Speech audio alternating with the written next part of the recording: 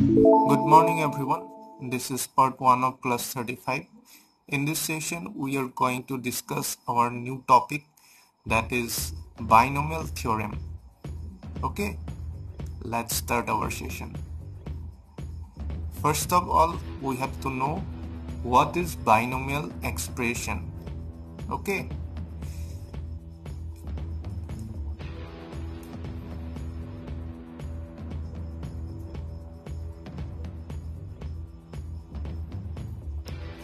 Binomial expression is any two term that are connected by plus or minus sign is called binomial expression or simply binomial. Okay. So the definition will be uh, any two term that are connected by positive or negative sign is called binomial expression or simply binomial. Okay. For example a plus b a minus b. Okay here a is one term b is one term that are connected by plus sign. A is one term b is one term that is connected by minus term. Okay suppose 2a minus 6b okay here twice a is one term 6b is another term. That are connected by minus sign. Okay. Suppose 5x square minus 7y square. Okay. Here 5x square is one term 7y square is another term. That are connected by minus sign. Okay. So these are all uh, binomial expression or simply binomial. Okay before discussing uh, binomial theorem we have to know some expressions. Okay? Suppose a plus b whole to the power 1 here. The power of a plus b is 1 so uh, its value is a plus b. Okay? Suppose a plus b whole square. Here the uh, power is 2 uh, its uh, formula is a square plus twice ab plus b square okay suppose a plus b whole cube ইয়াৰ ফৰ্মুলাটো কি হ'ব a cube plus 3a square b plus 3ab square plus b cube okay এতিয়া এই তিনিটা ফৰ্মুলাটো আমি আগতে পাই আহিছিলোঁ। তো ইয়াৰ পৰা আমি এটা ৰিলেট কৰিব পাৰিম। এইটো চোৱা ইয়াত এ প্লাছ বিৰ পাৱাৰ আছে ওৱান ঠিক আছে? তো ইয়াত এৰ পাৱাৰো ওৱান আছে বিৰ পাৱাৰো ওৱান আছে অ'কে ইয়াত এ প্লাছ বি হোল স্কুৱেৰৰ পাৱাৰ টু তো ইয়াত এৰ পাৱাৰ টু বিৰো পাৱাৰ টু অ'কে ইয়াত a plus b whole cube আছে তো এৰ পাৱাৰ কিউব বিৰ পাৱাৰ কিউব অ'কে এইটো হৈছে ফাৰ্ষ্ট অবজাৰ্ভেশ্যন নেক্সট আমাৰ কি হৈছে ইয়াত আছে? Two a b okay okay ইয়াত আছে? First term a cube next হৈছে three a square b okay থ্ৰীটো আমি এতিয়া নালাগে চাবলৈ ইয়াত তোমাৰ এ স্কুৱেৰ বি আৰু এ বি স্কুৱেৰটো যদি আমি অবজাৰ্ভ কৰিম তেতিয়া আমি দেখিম যে এৰ যোনটো পাৱাৰ সেইটো আমাৰ কমি কমি আহিছে আৰু বিৰ পাৱাৰটো বাঢ়ি বাঢ়ি আহিছে। ঠিক আছে? ফাৰ্ষ্টতে ইয়াত এৰ পাৱাৰ আছিল থ্ৰী ইয়াত এৰ পাৱাৰ হৈছে টু ইয়াত এৰ পাৱাৰ ওৱান আৰু ইয়াত এৰ পাৱাৰ জিৰ' অ'কে ইয়াত এ টাৰ্মটো নাই তো ইয়াৰ এৰ পাৱাৰ হৈছে জিৰ' অ'কে তো ইয়াত বিৰ পাৱাৰ জিৰ' ইয়াত বিৰ পাৱাৰ ওৱান ইয়াত বিৰ পাৱাৰ টু ইয়াত বিৰ পাৱাৰ কিমান হ'ব? থ্ৰী হ'ব। অ'কে তো আমাৰ যোনবোৰ বাইনমিয়েল এক্সপ্ৰেশ্যন থাকে আমাৰ কমপ্লেক্স এক্সপ্ৰেশ্যনখিনিলৈ নাযাওঁ প্ৰথমতে আমাৰ চিম্পল এক্সপ্ৰেশ্যনখিনিৰ ক্ষেত্ৰত কি হ'ব? আমাৰ যোনটো পাৱাৰ থাকে তাত এৰ পাৱাৰো কিমান হ'ব? বিৰ পাৱাৰো কিমান হ'ব? অ'কে আৰু ইকুৱেশ্যনটোত আমাৰ কি হ'ব? এৰ পাৱাৰ লাহে লাহে কমি কমি আহিব আৰু বিৰ পাৱাৰটো কি হ'ব? লাহে লাহে বাঢ়ি বাঢ়ি আহিব। ঠিক আছে? এতিয়া এই যোনখিনি আমাৰ কফিচিয়েণ্ট আছে এইটো হৈছে এ বিৰ কফিচিয়েণ্ট এইটো হৈছে এ স্কুৱাৰ বিৰ কফিচিয়েণ্ট এইটো হৈছে এ থ্ৰীটো হৈছে এ বি স্কুৱাৰৰ কফিচিয়েণ্ট অ'কে তো এই কফিচিয়েণ্টখিনি ওলোৱাৰ কাৰণে আমাৰ এটা ট্ৰিক্স আছে সেই ট্ৰিক্সটো ইউজ কৰি আমি কফিচিয়েণ্টৰ ভেলুখিনি উলিয়াব পাৰিম। ঠিক আছে? চাপ'জ আমি চাইডতে কৰি চাইছোঁ ঠিক আছে? ইয়াত আমাৰ a plus b a plus বিত এৰ কফিচিয়েণ্ট আছে কিমান? ওৱান বিৰ কফিচিয়েণ্ট আছে ওৱান অ'কে অ'কে নেক্সট এইটো হৈছে এ প্লাছ বিৰ কাৰণে এতিয়া এ প্লাছ বি হোল স্কুৱাৰৰ কাৰণে আমি কফিচিয়েণ্টখিনি উলিয়াম। অ'কে ত' ফাৰ্ষ্টতে এই ওৱানৰ কফিচিয়েণ্টটো ইয়াত ওৱানে ৰাখি দিয়া। ঠিক আছে? এই দুটা টাৰ্ম প্লাছ কৰা। কিমান হ'ব? ওৱান প্লাছ ওৱান টু হ'ব। আৰু নেক্সট এই ওৱানটো ইয়াত পুট কৰি দিয়া।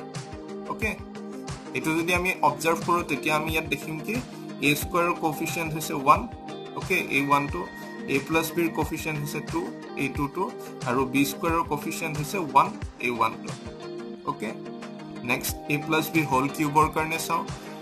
এই ওৱানটো আগত পুট কৰি দিয়া। অ'কে এতিয়া এই দুটা প্লাছ কৰা। এই দুটা প্লাছ কৰিলে আমি কিমান পাম? থ্ৰী পাম। এই দুটা প্লাছ কৰা। এই দুটা প্লাছ কৰিলে আমি পাম থ্ৰী এগেইন ওৱানটো ইয়াত পুট কৰি দিয়া। Okay one three three one okay ইয়াত এ কিউবৰ আগত কিমান আছে? একো নাই মানে ওৱান আছে। এ স্কুৱাৰ বিৰ আগত থ্ৰী আছে এ বি স্কুৱাৰৰ আগত থ্ৰী আছে বি কিউবৰ আগত একো নাই মানে ওৱান আছে। অ'কে নেক্সট আমি যদি এতিয়া কওঁ a plus b whole to the power ফ'ৰৰ কাৰণে ফৰ্মুলা কি হ'ব? Okay a plus b whole to the power ফ'ৰৰ কাৰণে ফৰ্মুলা কিমান হ'ব? এই ফৰ্মুলাটো এতিয়া আমি নিজে লিখিব লাগিব। ঠিক আছে? কেনেকুৱাকৈ লিখিম? ফাৰ্ষ্ট অবজাৰ্ভেশ্যন হৈছে এৰ পাৱাৰ ফ'ৰ আহিব ঠিক আছে? আৰু বিৰ পাৱাৰো ফ'ৰ আহিব লাগিব। আৰু আমাৰ কি হ'ব লাহে লাহে এৰ পাৱাৰটো কমি কমি আহিব বিৰ পাৱাৰ বাঢ়ি বাঢ়ি আহিব তো সেইটো কৰোঁ এতিয়া। এতিয়া এৰ পাৱাৰ কমিলে কিমান হ'ব? এ কিউ হ'ব বিৰ পাৱাৰ বাঢ়িলে ইয়াত বিৰ পাৱাৰ জিৰ' আছিল তো ইয়াত বি আহিব। ঠিক আছে? নেক্সট এৰ পাৱাৰ এগেইন কমিব কিমান হ'ব? এ স্কুৱাৰ হ'ব। বিৰ পাৱাৰ বাঢ়িব। তো কিমান হ'ব? বি স্কুৱাৰ হ'ব। অ'কে নেক্সট এগেইন এৰ পাৱাৰ কমিব। তো এ আহিব বি বিৰ পাৱাৰ বাঢ়িব তো বি কিউব আহিব প্লাছ এগেইন এৰ পাৱাৰ কমিব তো ইয়াত a to the power zero' হৈ যাবগৈ সেইটো আমি পুট নকৰিলেও হ'ব এণ্ড বিৰ পাৱাৰ বাঢ়িব তো বি টু দি পাৱাৰ কিমান হ'ব? ফ'ৰ হ'ব। অ'কে এতিয়া ইয়াৰ আমি কফিচিয়েণ্টখিনি কেনেকুৱাকৈ উলিয়াব পাৰিম? ইয়াৰ এই ওৱানটো আগত পুট কৰি দিয়া অ'কে ওৱানটো আগত পুট হৈ হৈ আহি থাকিব ওৱান প্লাছ থ্ৰী কৰিলে আমি পাম ফ'ৰ থ্ৰী প্লাছ থ্ৰী কৰিলে আমি পাম ছিক্স থ্ৰী প্লাছ ওৱান কৰিলে আমি পাম ফ'ৰ আৰু এই ওৱানটো ইয়াত পুট কৰি দিয়া তো আমাৰ এ টু দি পাৱাৰ ফ'ৰৰ কফিচিয়েণ্ট হৈছে ওৱান এ কিউব বিৰ কফিচিয়েণ্ট কিমান হ'ব? ফ'ৰ এ স্কুৱাৰ বি স্কুৱাৰৰ কফিচিয়েণ্ট কিমান হ'ব? ছিক্স এ বি কিউবৰ কফিচিয়েণ্ট কিমান হ'ব? Four b to the power ফ'ৰৰ coefficient কিমান হ'ব? ওৱান অ'কে ঠিক তেনেকুৱাকৈ এতিয়া যদি আমি চাওঁ আমাৰ a plus b whole to the power ফাইভৰ কাৰণে আমি ফৰ্মুলাটো বনাব লাগে। ঠিক আছে? কিহৰ কাৰণে? A plus b whole to the power five okay তো ইয়াত আমাৰ এৰ পাৱাৰ কিমান আহিব? A to the power five এতিয়া আমাৰ এৰ পাৱাৰ কমি কমি আহিব বিৰ পাৱাৰ বাঢ়ি বাঢ়ি আহিব। তো নেক্সট আহিব আমাৰ a to the power four b next আহিব আমাৰ a cube b square next আহিব আমাৰ এ স্কুৱাৰ বি কিউব আৰু তাৰপিছত নেক্সট আহিব আমাৰ a b to the power four আৰু তাৰপিছত আহিব আমাৰ কিমান? B to the power five okay তো ইয়াৰ কাৰণে আমি কফিচিয়েণ্টখিনি যদি উলিয়াওঁ এই ওৱানটো আগত ওৱান আহিব ঠিক আছে? ওৱান প্লাছ ফ'ৰ কৰিলে আহিব ফাইভ ফ'ৰ প্লাছ ছিক্স কৰিলে টেন ছিক্স প্লাছ ফ'ৰ কৰিলে টেন ফ'ৰ প্লাছ ওৱান কৰিলে ফাইভ আৰু এই ওৱানটো ইয়াত আহিব। অ'কে তো কিমান কিমান আহিব? এ টু দি পাৱাৰ ফ'ৰৰ আগত আহিব ফাইভ এ কিউব বি স্কুৱাৰৰ আগত আহিব টেন এ স্কুৱাৰ বি কিউবৰ আগত আহিব টেন তাৰপিছত a b to the power ফ'ৰৰ আগত আহিব five b to the power five okay বুজি পাইছা? এতিয়া আমাৰ বাইনমিয়েল থিয়ৰিমটো কি হ'ব?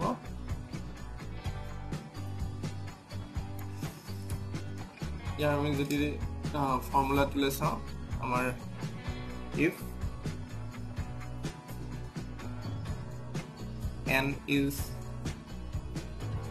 natural numbers